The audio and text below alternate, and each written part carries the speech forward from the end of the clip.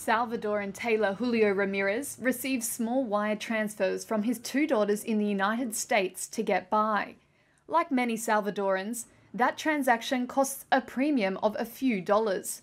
But after Tuesday, they'll have a new option when El Salvador becomes the first country in the world to accept Bitcoin as a legal tender. Proponents like President Nayib Bukele say it will save Salvadorans living abroad millions of dollars in transfer charges if they instead use Bitcoin to send their money home. But Bukele still needs to convince people like Ramirez, the tailor. He and his family see Bitcoin as volatile and risky.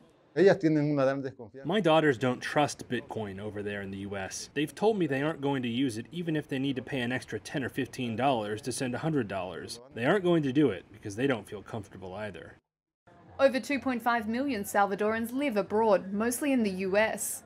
They send back around $6 billion a year. That's equivalent to about a quarter of the country's GDP.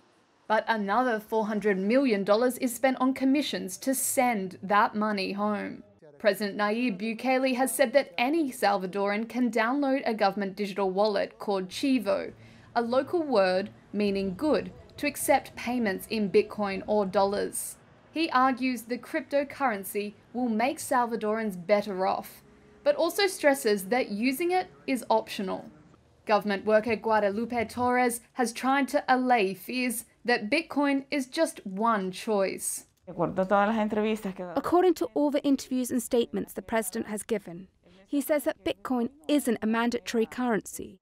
Its use is optional, and we hope that will still be the case. A 2015 central bank study showed that over one fifth of Salvadoran households rely on remittances to get by. And the government is doubling down on the Bitcoin strategy.